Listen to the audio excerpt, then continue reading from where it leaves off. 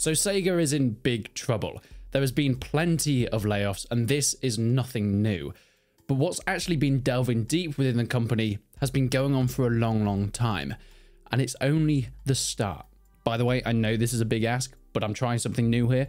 Please subscribe to the channel if you want to see more content like this. I would really, really appreciate it. Sega's first financial warning came over a month ago in February, talking about a financial hit after sluggish sales during the holiday period. It was quoted as being sluggish and weak because of a lot of games that they put a lot of stock in working and then obviously just not selling the way it was expected. And if I'm going to be honest, Sega has been going this way for quite some time.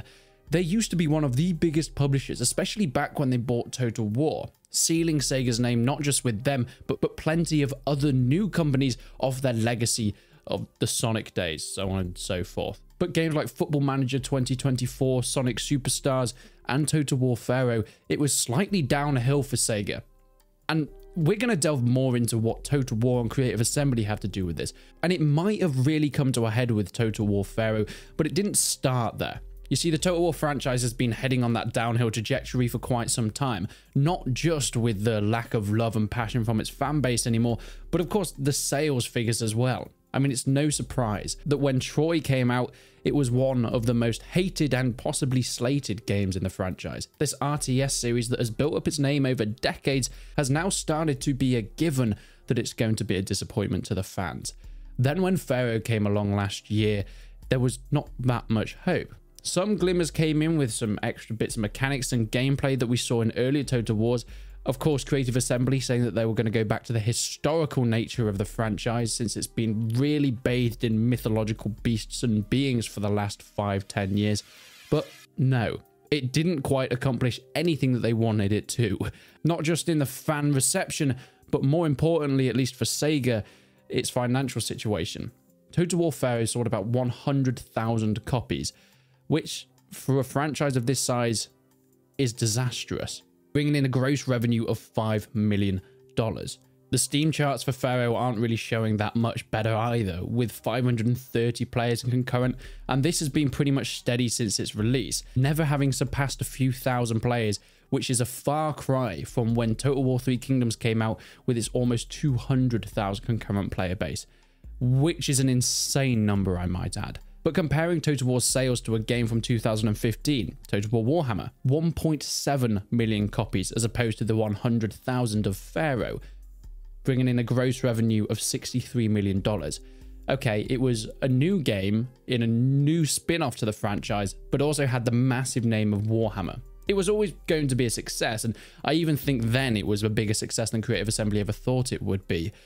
But let's compare Pharaoh to a similar style of game, maybe another hated Total War title. And this brings us on to Thrones of Britannia, selling over 400,000 copies and bringing in a revenue of 12.4 million, over 400% on what Pharaoh did, which is baffling because the franchise should have grown hugely. Thrones of Britannia released in 2018, not even close to the peak of Total War in terms of its player base and its worldwide renown. Total War Warhammer 2 and later 3 really blasted it off into the stratosphere, selling millions of more copies. So how did we get to this point? And what's the effect that it's having on Sega as a whole? As mentioned, Sega lays off 240 staff and a lot of them at Creative Assembly themselves, a company that only has about 800 people on the team at this point in time. This will have been a huge hit to them financially especially since over 120 staff were let go back in May of last year. A company that was almost at its peak seems to be making quick changes for its financial success and the longevity to keep it alive. But how will that even work? It's not only Creative Assembly, by the way, Relic Studios, you know, the guys that were big back in the day. They made things like Dawn of War, They've also recently announced Space Marine 2, a fantastic sequel to that 2011 game that's coming out hopefully this year. They also took over the Age of Empires franchise. They made a lot of the remasters or remakes and of course have made Age of Empires 4 somewhat of a success in their name. Now, this is one of the biggest pieces of news is despite Creative Assembly taking a lot of hit in staff, they are still going to be under the roof of Sega. Relic Entertainment, however, have not gone that way. They have parted completely from Sega as their parent company and going off to be, I guess, an indie studio again, going to be releasing on their own terms and, of course, being invested by their own terms, finding their own investment and releasing games as Relic rather than Relic and Sega. This is great because they have a lot of good stuff going on. The Age of Empires series is probably at the biggest it has ever been. Not just the past ones that have had remakes, HD editions, and of course complete definitive editions, but Age of Empires 4, despite having a bit of a tricky launch, seemed to have actually garnered a lot of player attention and whilst it wasn't perfect, I think has gained enough to continue that franchise in a good light. So, what is Relic going to be doing now? Well, they're going to be releasing Space Marine 2. I think Dawn of War is a franchise that could be coming back as well. After Dawn of War 3, it was a little bit on the cards, but it's been plenty time since that disaster. And Relic have the opportunity to be as creative as they want. Financially, it's not going to quite be the same, but since Sega's going that direction of laying people off anyway, hopefully it might actually be a positive financially, at least putting the funds in the places that they need to instead of hiring staff that later have to be laid off in one of the most brutal firings that we've seen in recent memory. We saw this because Relic put up a tweet saying, We have important announcement for our players and fans. With an external investor, Relic Entertainment will become an independently run development studio. So it looks like they have sorted things out on their side, and these Sega layoffs aren't going to be affecting them too much. At least that's the hope for the development of their future titles. We want to thank Sega who supported us through the years, and of course, they're excited about the next chapter. They're going to be continuing support for games like Company of Heroes 3. I mean, that's an interesting decision since that game was a complete disaster. But I hope that this means they can put it into titles and the series that they've got under their belt. I mean, having franchises such as Dawn of War, Age of Empires, Company of Heroes, Space Marine, it really couldn't be a more positive light for this company. And the fact that they're able to go off on their own, I think is something that hopefully should benefit them. And of course, the players because companies like Sega, unfortunately, whilst they have bought us some fantastic titles in the past, because financials are the main incentive, as soon as that starts to drop off, we start to lose our favorite games. And I think that's going to be the main issue that we've seen with Creative Assembly.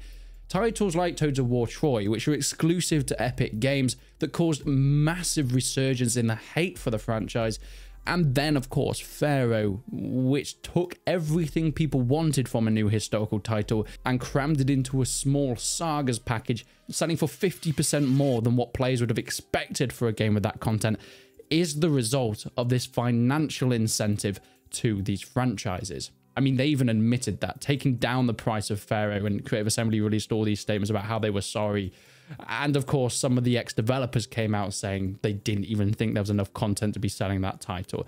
But that's a whole different story. Now, the rumors are that most of these layers of Sega and subsequently Creative Assembly are more operational sides and those kind of jobs rather than actual development.